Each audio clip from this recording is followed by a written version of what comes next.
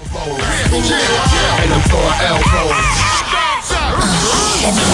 I'm overdue. Give me some room, coming through.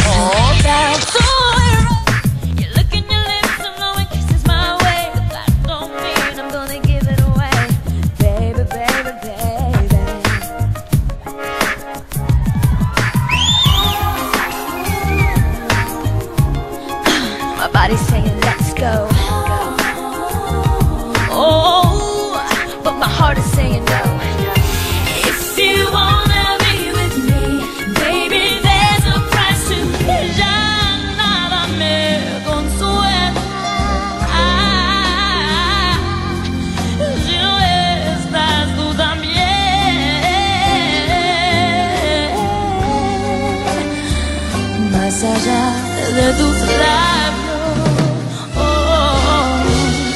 y del sol y las estrellas. You know, I was 17 at the time, so green and fresh and, and new to coming out with, uh, you know, uh, this whole, you know, coming into this whole world.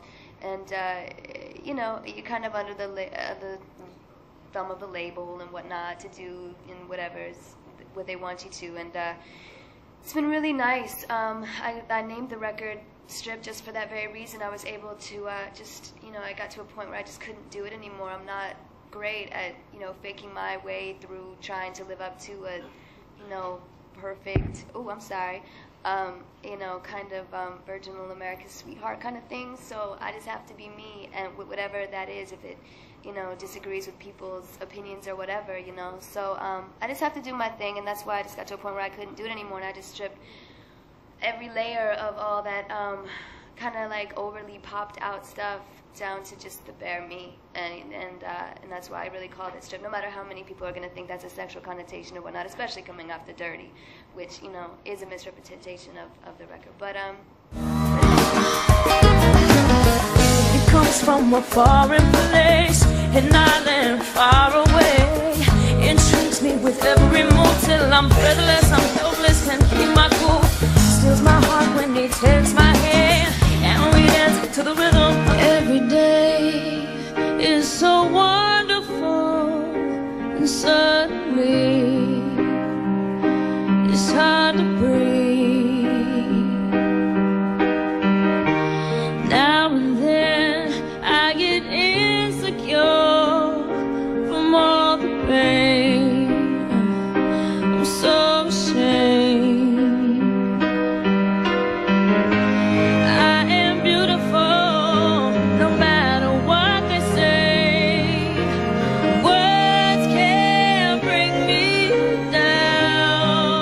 lo- I love beautiful. I think it's such, such an honest, honest statement. And it's, it's kind of odd to say I am beautiful about yourself, but in a way. Then you flip it, you say, we are beautiful. It's not even just about Totally. you. No, it's a message about everybody. Second chorus, it's kind of you are beautiful no matter what they say. Words can't bring you down. And the third verse by or third chorus by then you're saying every you know what I mean? It's, Right. it's something that it's almost like an anthem that everybody can sing because everybody has their insecurities. Everybody gets down and hurt by what other people say or, or how they can misjudge them. And that's definitely a song about um, how that can hurt, but in the end, being okay with it and being able to rise above it. Once upon a time, there was a girl. In her early years, she had to learn. It's it's a very important song. It's the only song on the record where you address family. It is about um, my uh, my past and um, almost a song to my father, and it's self-explanatory, so I'm not going to go too much into it to Right. hear it.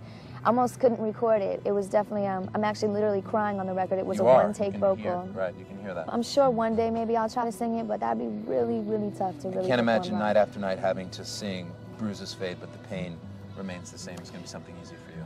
And it kind of takes away from I think the the realness of it to have to routine it every night. So if I do sing it, I would like it to be really special and Right. almost a, a, a rare. That was kind of my story of putting it out there and letting people know that you can survive it and get through it and um, turn it into something positive in the end. We standing our ground on this one.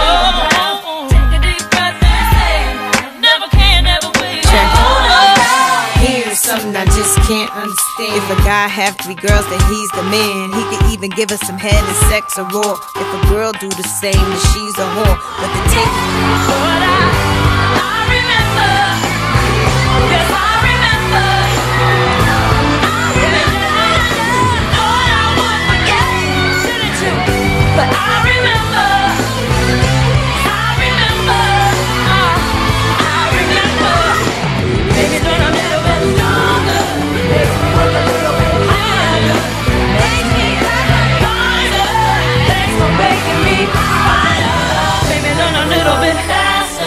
Maybe my skin a little bit thinner makes me not.